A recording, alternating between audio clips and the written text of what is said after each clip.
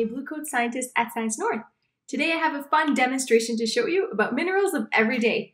Now we're going to learn about minerals and their use in our everyday lives. But in order to do this, we have to understand the difference between a rock and a hard place. No, I mean a rock and a mineral. Let's start with minerals. They occur naturally in nature. They are inorganic, so that means that they were not made by organisms. They're not liquid or gas, so they are solid. They have a definite chemical composition, and they also have an internal structure. So atoms are arranged in a way that there is a systematic pattern.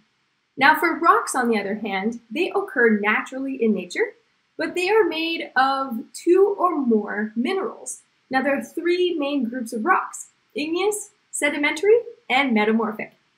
Now, think of this maybe in a baking format. If you are a chef, you are tasked to bake a cake.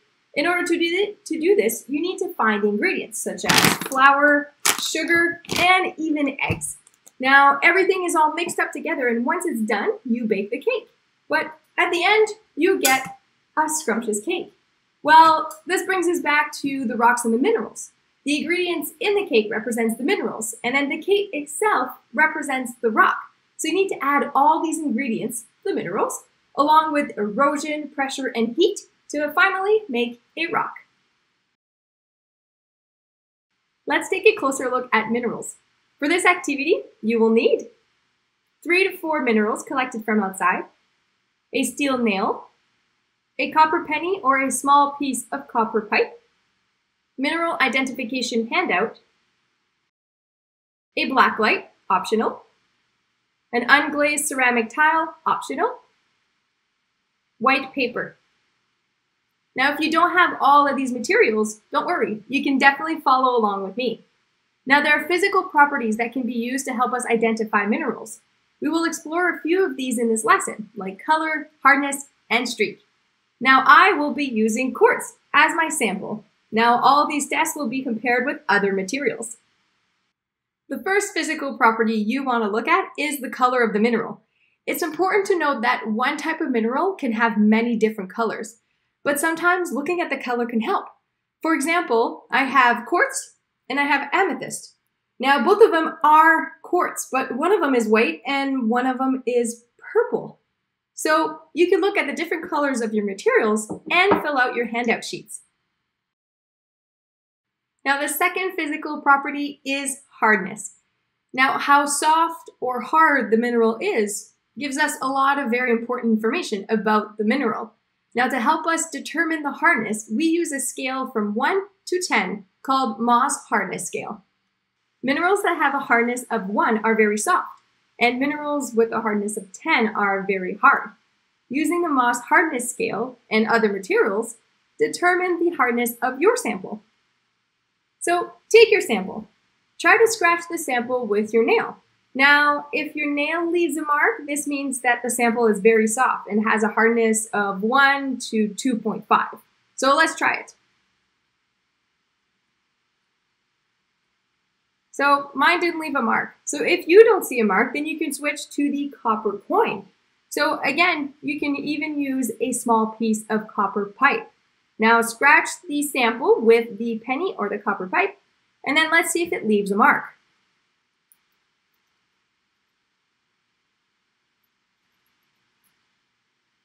Do you see a mark? Not for me. But if you do, your hardness is between 2.5 and 3.5. But if you don't have a mark like me, then you can switch to your steel nail. Now do the same thing, scratch your sample and see if you can leave a mark.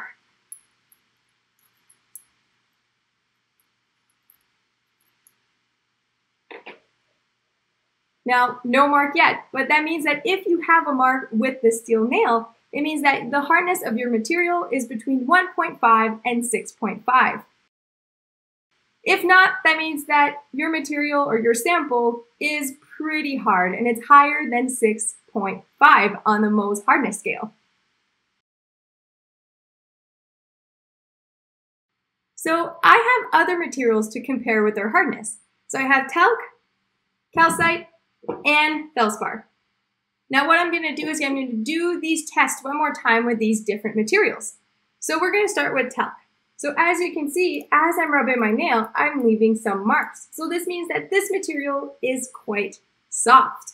Now if we move over to the calcite, I can't really do any marks with my nails, but if I move over to the copper penny, then there is definitely a lot of marks. So if we move to a harder mineral, like the feldspar, then we have to use the steel nail because my, my own fingernails won't do anything. My copper penny won't do any marks. So let's try with our steel nail. There you go, some marks. Let's take a look at our third physical property. Now minerals leave marks. Now these marks are called streaks. The color of the ridges left behind by the minerals are used for identification. For example, the mineral hematite may be black and metallic in color, but it leaves a reddish brown streak. On the other hand, we have talc. Now this leaves behind a white powder. Now using an unglazed ceramic tile or a blank piece of paper, take your sample and try to draw a line. Now don't worry if you don't have a ceramic tile or a blank piece of paper. Try maybe to rub the material in your hands and see if it leaves a streak. Now what color do you see?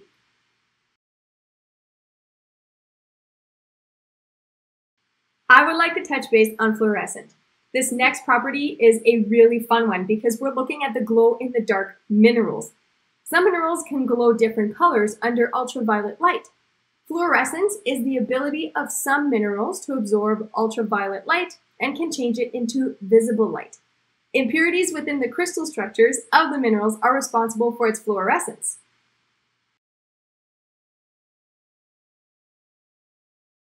Okay, we now understand techniques to help us identify minerals. But why are minerals so important? Well, minerals are all around you. Did you know you even eat minerals every day? The mineral halite is a common food preservative and flavor enhancer, which most people have in their pantry. Typically, you would encounter it as a white granular powder. Can you guess what it is? Yes, it's salt. Now, have a look in your kitchen and see if there's anything else that's made up of minerals. What about your sink? If it's made of stainless steel, it uses nickel, which is mined right here in Sudbury.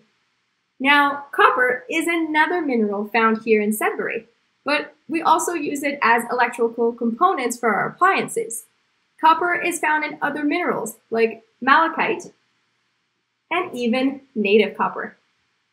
The mining industry is important because we use minerals in our daily lives. We are surrounded by many items in our homes that need minerals in order to make them. Now, thank you so much for joining me at home today. I had a great time teaching you about everyday minerals. Have a great day.